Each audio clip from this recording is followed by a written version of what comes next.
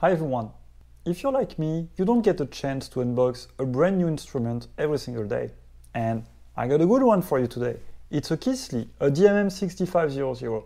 It's a 6.5 digit bench multimeter, the latest generation from Keithley or Tektronix, and supposedly it's a very very nice piece of gear. So I wanted to share with you, well, the box, but also what's inside, see what the accessories are, how well the packaging is made, the unit itself obviously, and I'm also going to give you my first impressions regarding the unit. So I hope you're interested, because I certainly am. Let's get started, let's see what's in there. So just a quick note before I start unpacking. Uh, as you know, it's always a good practice to check the integrity of the packaging, and also you're not supposed to open these instruments with a knife. And I know some of us like big knives, but I'm going to use a pair of scissors to do that. It's a very nice box, it feels quite sturdy. Uh, it comes apparently directly from China, which I don't believe is a problem, but uh, it's pretty interesting because I ordered it directly from Tektronix in the US. Um, let's see what's in there.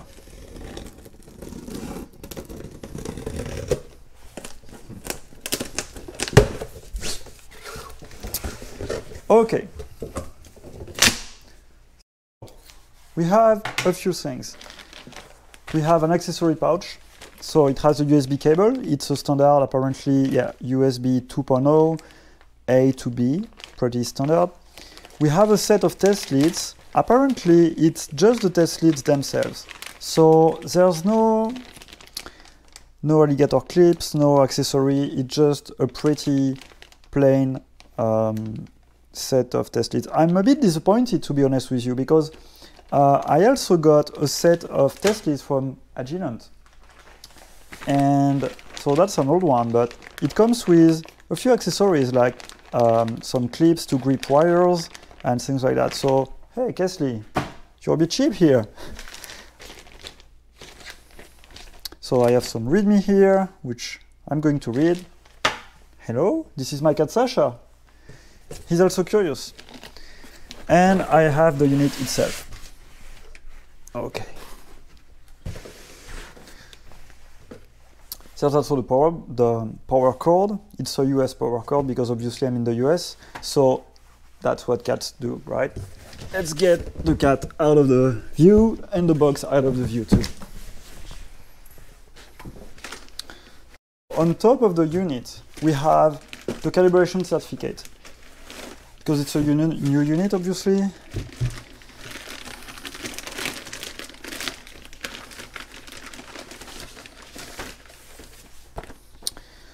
Pretty standard calibration certificate. Let me show you. Pretty standard stuff.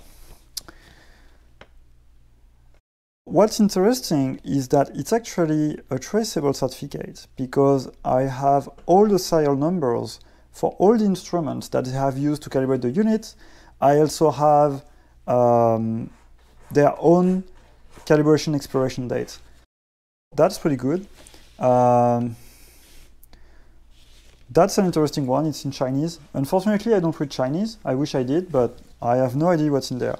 Uh, it doesn't look like, oh, it's in English on the other side. It's just an environmental disclosure report uh, to tell me where are the dangerous chemicals in there, but I don't plan to eat this product, so I should be fine. I'm still going to keep it with the, the rest of the documentation. Let's look at the unit itself now.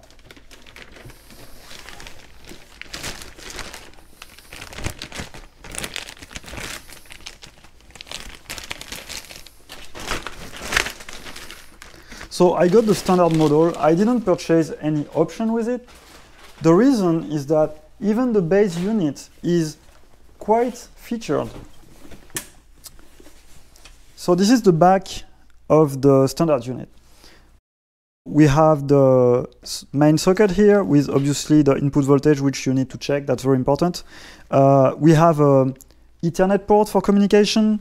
We have a USB port, um, external trigger in, trigger out, these are the um, uh, caps. So if you get, for instance, a GPIB interface, it's going to be there in there. Uh, I believe you can get a multiplexer card if you want to measure multiple channels at once and put it there.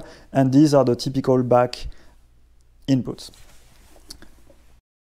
The unit is a decent size. It's interesting to compare with some older piece of instrumentation that I have here. So that's not a multimeter, it's a frequency counter. But um, I also have a multimeter, which unfortunately you can't get to see, but it's the same size. So the Keithley is pretty large. It's not a problem, not at all, but it's interesting to compare.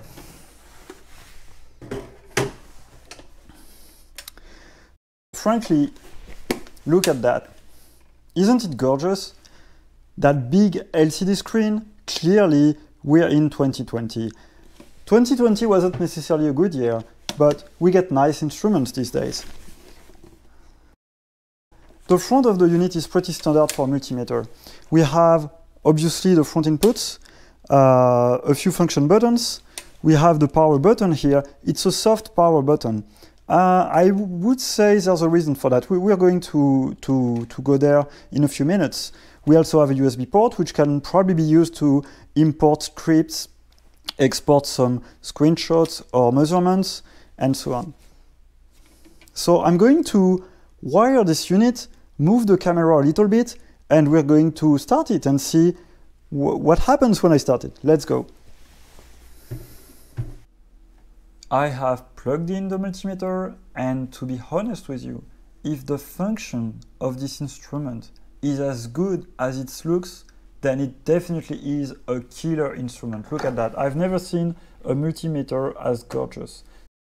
I'm going to turn it on and we're going to check a few things, see the time it takes for it to boot, see if there is any uh, big noise from a fan or something like that, and uh, I'm going to show you the user interface. So let's go.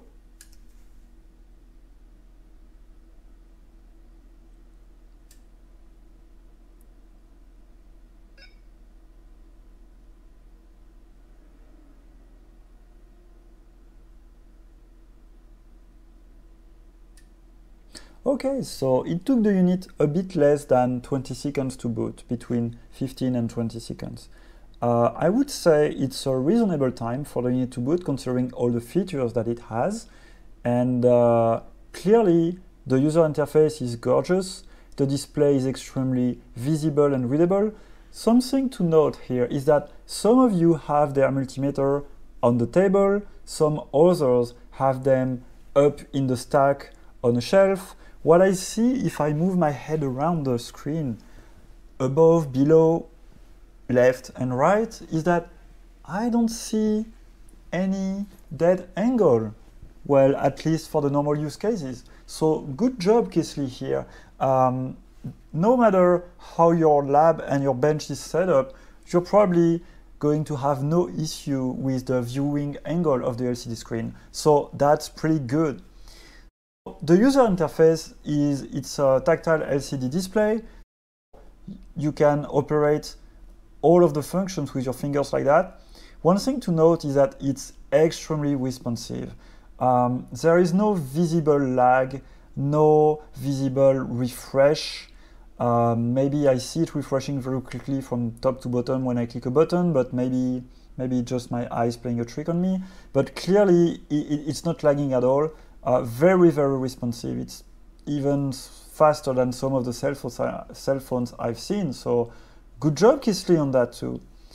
Um, when we switch, switch functions, it's pretty responsive too.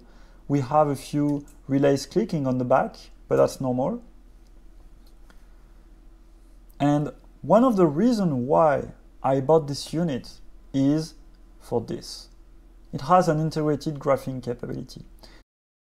There are some situations where you need to do some data logging, you need to check how a certain voltage or, or, or, current is evolving, but you don't want to take the oscilloscope, you don't need a sample rate, or maybe your oscilloscope is used for something else. So you can just fire up the multimeter, configure the graphic mode, and maybe it's enough. So that's great. It's the first time I see a multimeter with that capability. It's really interesting. You can have both the, um, the main multimeter display and then the graphic on the back, or you can also move to a view with the graph full screen and look at that. You can zoom with your fingers. And frankly, I believe it is useful because if you're looking, for instance, at the RC charge or discharge curve of, of a capacitor or something like that, uh, you don't necessarily want to have to go into the menus, even if it's not that hard with the touchscreen. But sometimes it's good to just zoom in. Uh, you can stop the trigger, and then you can look into the area of interest. Um, then you can restart the trigger. So yeah, it's it's a pretty nice instrument. And even look at that, it took into account the time during which the trigger was stopped. Yeah, good job on the user interface, very convenient. Uh, something to know about this unit also is that it's programmable and not programmable in the sense of the previous instruments. You can actually run scripts inside the unit. For basic test and measurements application, for instance, in production, for testing, uh, you can just put a script inside the unit, it's good. It's going to run it, and then it can, for instance, display a big pass or fail on the screen. This is a departure from the previous dumb instruments that we've been using for decades. It's a really, really new paradigm for multimeters, in my opinion. It's really nice for production testing, and I'm sure we'll have more and more applications because we also have capability to load applications from the USB port. So it seems to me pretty clear that Keithley has some ambition, ambition with that. I can't wait to see what's going to be available in that. Um, something else to see is that the refinement of that unit doesn't stop at the user interface. For instance, look at that. That's the current measurement input. So why am I excited about a current measurement input? Well, because if you blow the fuse, you press it, you turn it, and you get immediate access to the fuse. You don't have to go on the back of the unit to remove everything, remove the wires, unstack the instrument, and no, it's just directly accessible from the front. So that's extremely convenient, especially for professional applications where you don't have the time to deal with um, stacking and unstacking the instrument. And also, if it's rack mounted or anything like that, you also want to have front access, even if for some rack mounting application you may use the rear input. But anyway, that's just uh, a nice refinement here. I wanted to, to mention it because it's good. Um, something else that you may want to know, especially if you happen to see that video in the future and say you get a second hand unit. Um, please make sure it has the latest firmware because the early units had a bug with the firmware which was draining the internal battery. And the problem when that happens is that you may lose the calibration data. So I believe. So yeah, just make sure the unit you're using has the latest firmware. It cannot hurt. You're going to get maybe new features anyway. So yeah, that, that's uh, important, especially for this type of instrument, uh, which is not so dumb anymore. There's a lot of processing power in it. Speaking of processing power, uh, part of the reason why the display is so reactive is that there is actually a dedi dedicated processor just for the front panel here. So that explains a lot of the reactivity you see here.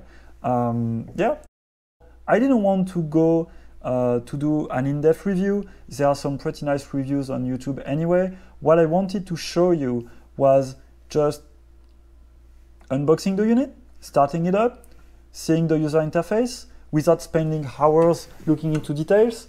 But one thing is important to me, and I'm still going to do a quick test. So when you are in continuous mode, in a continuity testing mode, sorry, uh, you want to make sure there's no lag because sometimes some multimeters lag. So if you do a very fast contact like this, some multimeters are not going to register it. So I'm simply going to do a very quick test and see if that's the case for this one or if it doesn't suffer from, from this problem. So let's see.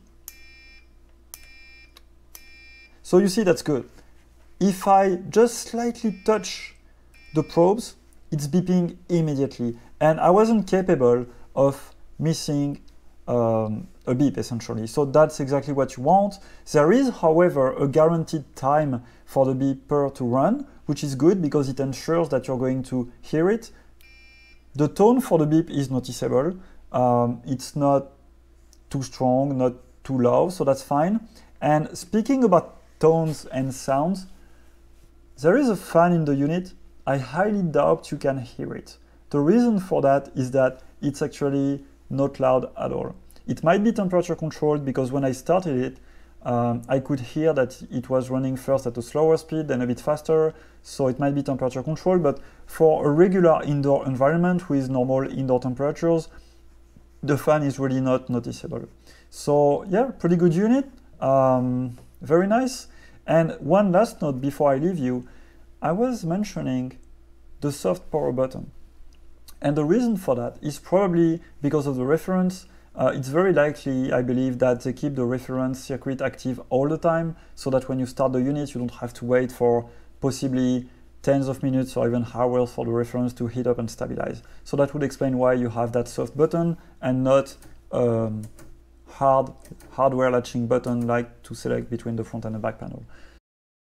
My first impressions, well, I'm delighted I bought this unit. It's a very, very nice instrument, very visible, um, it's modern. It offers some interesting capabilities that we don't have with the older instruments.